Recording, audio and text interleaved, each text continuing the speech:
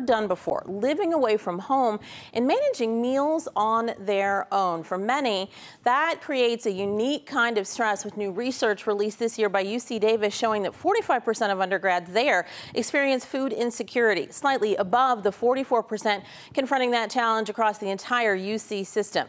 Not feeding yourself properly because of high food costs, just one of the stressors that can push young adults into disordered eating. Jennifer Lombardi, behavioral health manager for Kaiser's Eating Disorder Services and Adult Intensive Outpatient Programs, with me now to discuss what parents need to watch out for in their college age kids and how students can really do better for themselves as well. Thank you so much for joining us this morning. Thank you for having me. Definitely. Now, almost 29 million Americans will have an eating disorder sometime during their lifetime, and the anxiety of that is kind of baked into the whole brand new college experience. We're talking about making new friends, self doubt, the expense of shopping for food can all push someone over the edge, right? Yeah, so I think it's a time of year when there's so much excitement, right? So, you know, I have a college age student myself. Mm-hmm. I'm a mm-hmm. parent Congrats. and I thank you. and I know that it's there's a lot that's built into that, right? So of course it's natural for parents or caregivers to be very excited along with their loved ones. But if you have somebody who's struggling with an eating disorder, there's a lot that you need to take into consideration and have a plan so that if there's a suspicion that something's going on, that it's talked about and you work with treatment providers to have a plan for what needs to happen when they go away to school. So let's talk about some of those things to watch out for. If you're a parent and you're on a call with your kid and you say something like, oh, well, isn't the cafeteria opening soon? And I don't want to keep you from getting down to dinner. And then what you hear back is, oh, I'm not feeling hungry. That's one of those potential signs. Yeah. Yeah, I think sometimes we shy away from having these really honest and heartfelt conversations. And so my first encouragement to parents are if you suspect something, don't stay quiet about it. Okay. Be willing to ask the question directly. You know, I have and be very clear about what your concerns are. I'm concerned that you're not eating to the amount that you need to support your body and, and all the activities that you're doing. The other question that sometimes I think gets missed is how much are you spending time at the gym and how mm. much are you exercising? Because that's something that oftentimes gets overlooked because we're putting so much pressure in our culture to diet and exercise. And so exercise is seen as a quote unquote healthy thing. But for so many college students, it becomes too much of a good thing.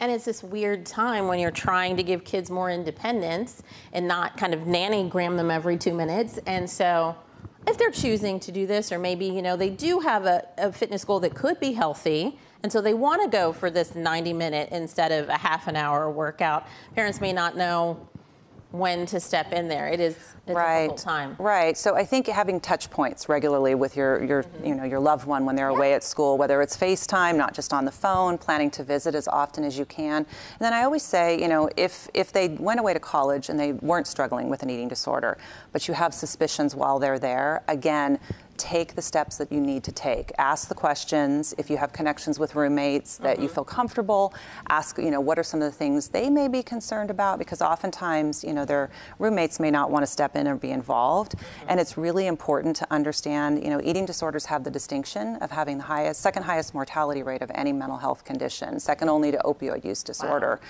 So in our culture, not talking about this really contributes to colluding with the illness in a sense. An RA can be a valuable resource too because it's not Absolutely. a roommate. There's somebody who has been had some training by the university to sort of be watching out for the people in their housing unit. So that's something. Also, if you have a son and maybe they haven't grown up slender, stereotypes of anorexia, for example, are that they only happen to women and that it's only thin people that are dealing with this. So you may not be thinking about that when it comes to your son who may be, you know, a little less than slender, and so it may slow a family's response.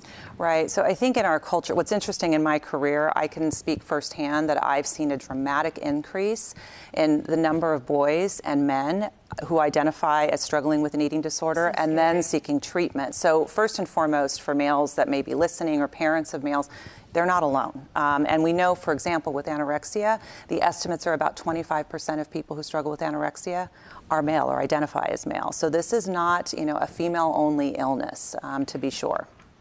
Well, as students may themselves be realizing that something is wrong, it takes a lot to make that first step and go to the campus clinic or connect with an RA to start talking about this. So what should students do? How should parents be supporting? Because you may be miles and miles away I mean, you may just be one mile away, but that's too far if something's going wrong with your kids. So, how do we start that? Because it's really a brave process to get started in terms of reaching out for help. Yeah, it's a great question. So, I think what's really important for people to understand is that this this is an illness that requires a team, and a therapist who specializes in eating disorder care and has specialized training is absolutely critical.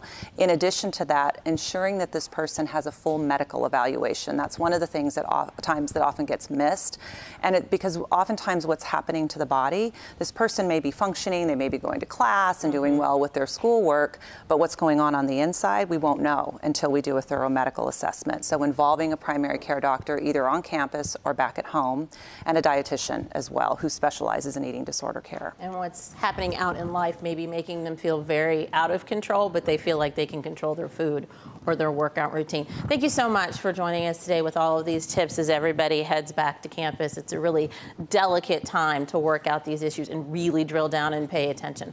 Artie, thank you so very thank much. You. We appreciate you.